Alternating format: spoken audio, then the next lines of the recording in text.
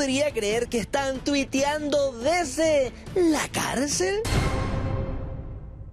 Uri Uri fue sorprendido en uno de estos allanamientos aleatorios que se realizan al interior de las celdas y se le encontró un teléfono celular. Bueno, si están llamando para estafar gente y para hacer todas estas cosas, imagínate, o sea, el Twitter es más, más fácil todavía.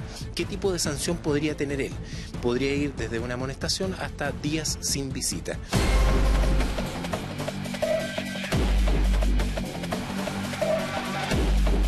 Parece una locura, pero todo indica que es real. Y es que el bailarín Uri Uri, quien lleva cerca de un mes privado de libertad por haber protagonizado un altercado callejero dejando un hombre gravemente herido, preguntó a través de su cuenta personal del pajarito azul lo siguiente.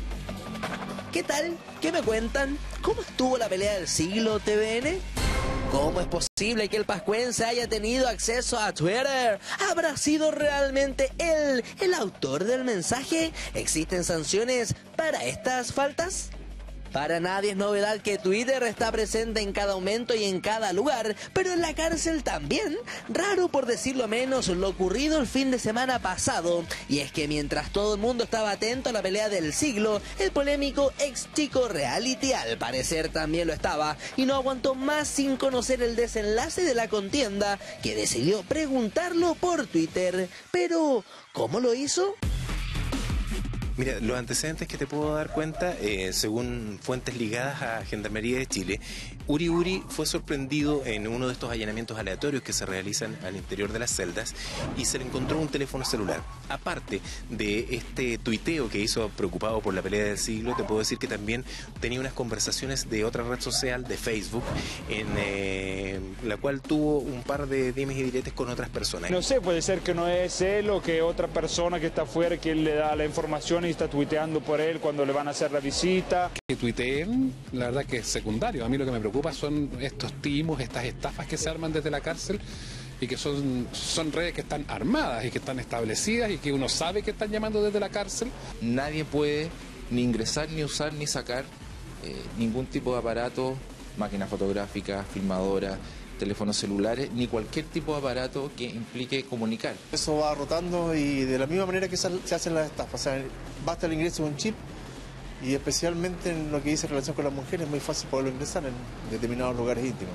Evidentemente eso es una infracción al reglamento carcelario que le podría implicar al señor eh, Uri Uri Pacomio severas sanciones en lo que se conoce como el régimen interno carcelario. Según nuestros expertos abogados es una falta bastante recurrente y es que no podemos hacernos los tontos y desconocer que celulares en prisión hay. De hecho, es así como los reos siguen trabajando con los intentos de estafas telefónicas, entre otras acciones hacia el exterior. Pero de haber sido Uri quien tipió este mensaje, ¿qué sanciones arriesga? Podría tener suspensión o prohibición de visita durante bastante tiempo y eventualmente días de aislamiento si es que se sorprende eh, usando un teléfono celular dentro de un recinto penitenciario. Le reitero, es una grave infracción al régimen interno, al reglamento penitenciario. Los castigos yo los conozco, pero son las normas internas que tiene Gendarmería, por ejemplo, la suspensión de visita por un tiempo, la suspensión probablemente de la salida al interior de los patios situaciones de esa naturaleza, pero en relación con la pena que cumple no tiene ninguna incidencia. Un punto a destacar, según información que pude recabar de parte de Gendarmería de Chile, solo en el mes pasado, en el mes de abril, en ese penal se incautaron 181 teléfonos celulares. Uno de ellos, el de Uri Definitivamente Uri Uri se las trae. Recordemos que recién entrando a cumplir prisión preventiva duró solo un par de días y el Perla salió de lo más tranquilo en libertad, la que eso sí duró menos que un candy. Se descarta que pueda haber sido otra persona, un tercero un tercero y con la cuenta de él es como raro. Es rebuscado. Habría que, habría que investigarlo, pues habría que, habría que determinar cuáles son los beneficios que tiene, que tiene él en esta prisión preventiva. Dudo, que, dudo, que, teléfono, sea, dudo que sea la utilización de teléfono y, si así fuere, esto implica sanciones internas que muchas veces son bien desagradables para, los, para las personas que están presas. Esperanzado e intrigado pudimos ver a Uri Uri el fin de semana pasado con la gran pelea del siglo, quien no aguantó sus ganas de conocer el resultado y curiosamente lo consultó en su cuenta en Twitter. ¿Habrá sido un tercero quien escribió en su nombre? ¿O Uri Uri le dio un nuevo golazo a la justicia? Muy bien, es raro, se supone que está prohibido, eh, pero en todo caso es algo que efectivamente pasa y pasa bastante. Nosotros nos comunicamos con el abogado de Uri Uri y nos dice el abogado de Uri Uri que él habría sido suplantado. ¿Ah? Pero es bien curioso porque Carlos López nos contaba que eh, efectivamente se hizo un, eh, un allanamiento durante el fin de semana y se le encontró a Uri Uri un eh, teléfono celular. Pero ¿cómo si Queraltó está hablando con Uri Uri ahí ¿Por en qué el está hablando celular? por WhatsApp? ¿Con quién? ¿Pero cómo? Ah, ya. ¡Ay, una broma, una broma! Oye, lo, lo, lo que dice, lo que, oye, le estaba contando que ganó Martín Vargas la pelea, se lo estaba adelantando. Oye, no, lo que dice Carlos López es muy cierto, ¿ah? efectivamente se hizo eh, Carlos Alberto López de Alerta Máxima, rostro de nuestro canal. Un abrazo, Carlito Ay, Alberto. Dios. Él dijo que eh, existió un allanamiento al interior, el rostro que menos gana en este canal y que más marca en televisión. No, ya, no, no. No, no, eh, efectivamente sí, un allanamiento dentro de la. De, ¿Cómo de sabes que menos y gana después- está engañado? Porque Juan Pablo se lleva la mitad No nos quedemos en menudencias, abuelo. Te ha engañado, Jorge. No reten a Ítalo. Y, ajá, No lo reten. Bueno, y ahí efectivamente Ítalo se Bueno, requisaron más de 100 ¿Viste la celulares. Y entre eso, efectivamente, habría estado el celular de Uri Uri Pacomio, el señor Pacomio, que habría tenido el celular y que se habría contactado no solamente a través de las redes sociales de Oye. Twitter, como dice Carlitos López, sino que también con otras personas. Tengo una pregunta. Sí, dale. ¿Cómo pueden entrar los celulares a la cárcel? Te juro, ¿cómo- ¿cuáles son las técnicas? No, lo pregunto súper en serio. una. Porque yo escuché de una y te juro que me sorprendió. Sí, iPad. Pero la que Como iPad. un iPad. Hasta un iPad. Yo te lo digo porque... Por ejemplo, por ejemplo, si la Pauli, por ejemplo, si la Pauli fuera a, a visitar a una persona en la cárcel, uno puede poner el celular en su pelo y pasa súper piola. Entonces- Yo le voy a... Mira. A decir dos cosas. ver, bueno, una, Pauli. bueno, creo que una. Creo que una. Aquí Pauli. poner un plasma a la Pauli en la, en la cabeza. En la chamba. Pauli, te voy a dar, mira, a mí me contaron mis amigos, mis amigos presidiarios, me, me contaron que hacían esto, agarraban un peluche de sus niños, lo abrían y adentro lo guardaban en silencio, todo obviamente apagado, lo cosen y chumpa Primero, ¿por qué te daban esos consejos? Ese fue uno. El otro, el otro fue uno en el reality, pero eh, en realidad eh, no lo puedo contar. Muy bien. No lo puedo contar No, pero porque, oye, no ¿sabe por qué? Porque tendrían que revisarme Sí. y hacer una cosa en el cuerpo y no, no, no. Oye, ¿y no, quiero no, no creen, ¿no creen que este tuiteo también es una tocadita de oreja a Gendarmería, a la justicia chilena? sí. Porque perfectamente, si el tipo de verdad quería saber cómo iba la pelea o cualquier información, y si tenía el celular, le podrían mandar un WhatsApp. A mí, esto se sabe que es de que... No lo dimensionó, no, lo dimensionó.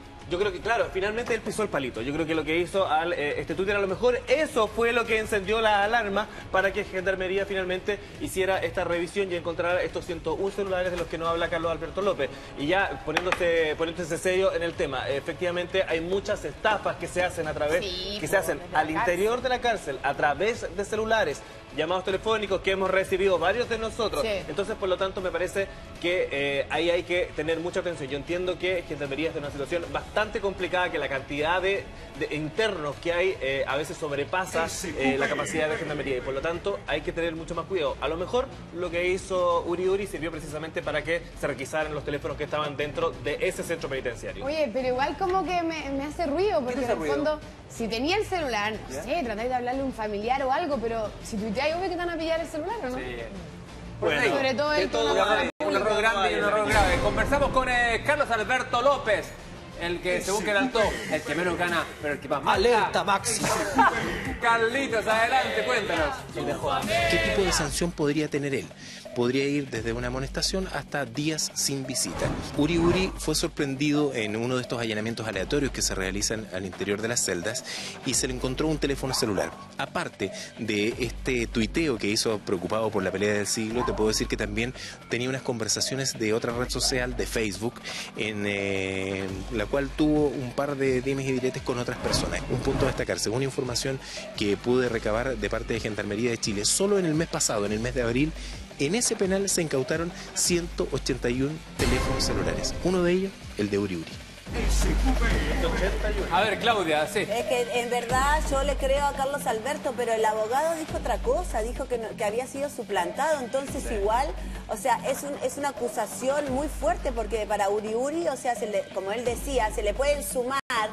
eh, se le pueden sumar este eh, días de, de- de- de prisión, le pueden eh, sacar los días de visita. Le quitan los beneficios. Le quitan los beneficios, entonces igual es algo tremendamente, eh, no se me hace ruido. Yo Bueno, no tengo en por qué dudar de la palabra de Carlos En el Alberto, caso pero... de que fuera Uri Uri, en el caso de que Uri Uri hubiese usado, hubiese usado efectivamente el teléfono, insisto, yo creo que una acción bastante Torpe, ingenua, torpe. torpe, porque eh, efectivamente, ¿por qué va a tuitear al respecto? Porque alguien que lo suplanta va a preguntar Sí, cómo va la pelea del siglo. O sea, yo creo que de verdad aquí 2 más 2 son 4 y es No, así de y además a pensar una cosa, él fue, eh, él está en prisión justamente por eh, golpear a otra persona, entonces eh, igual es como, o sea, poco oportuno, insólito estar hablando de la pelea del siglo cuando vos estás detenido, o, o sea, estás ahí eh, Bueno, tengo preso por golpear a una tengo persona. que las respuestas tuvieron que con eso mismo también. Claro. Mira, la respuesta a ese Sí. tweet. Sí, que en el fondo le respondía, uy, no me acuerdo exactamente. No tan pero buena en el como la fondo. No tan buena como la tuya y cosas así. Ahora, yo creo que lo, lo que hizo él fue un acto, netamente un acto torpe, un acto que no debió haber hecho y esto Si le es puede generar, si es que fue realmente el mismo, el mismo Uri Uri. Tenemos que confiar también en el abogado, lo que finalmente está diciendo. Vimos hace algunos días también lo que estaba haciendo Uri Uri en la cárcel, que se estaba dedicando también al deporte, estaba haciendo algunas cosas en cuero también. Me imagino que estar ahí cerrado, claro, es aburrido, y, y le dio además esta posibilidad de tutear y cometió un grave. Muy bien. Nos vamos